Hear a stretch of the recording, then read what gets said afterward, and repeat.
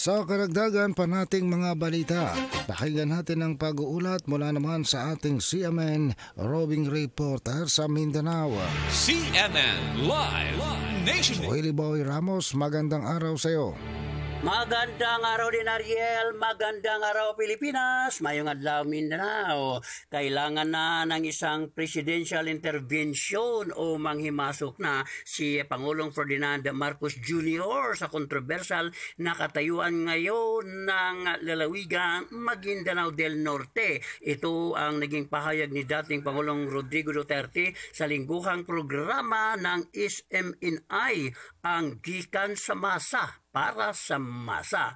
Ang kasalukuyang pamamalakad kasi ngayon sa Maguindanao del Norte ay sa pamamagitan ng dalawang punong mga lalawigan.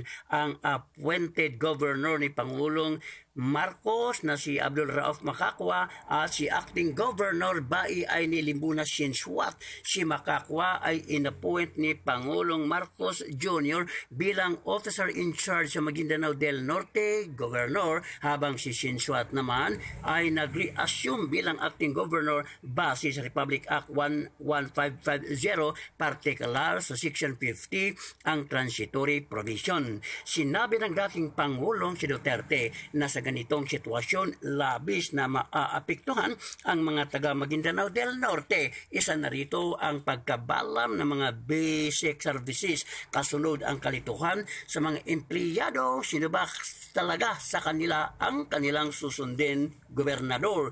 Naniwala si dating Pangulong Rodrigo Duterte batay sa kanyang ipinahayag sa gikan sa masa para sa masa na masolusyonan sa lalong madaling panahon ang problema sa Maguindanao del Norte sa pamamagitan ng presidential intervention. Samantala, ginunita sa bayan ng Pikit, North Cotabato ang ikadalamputpitong anibersaryo ng Moro National Liberation Front at ang Philippine Government Peace Agreement. Ginanap ang selebrasyon sa Pikit Public Gymnasium na pinangunahan mismo ni Moro National Liberation Front Chairman ng Central Committee si Muslimin Sima na siya ring Minister ng Ministry of Labor and Employment sa Bangsamoro Autonomous Region and Muslims Mindanao. Wala Ramos, Semen Robin Reporter ng Mindanao Radio Kalikasan Ningog City Base nag-uulat live para sa CMN Pilipinas.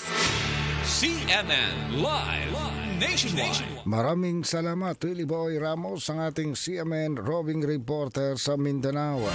Samantala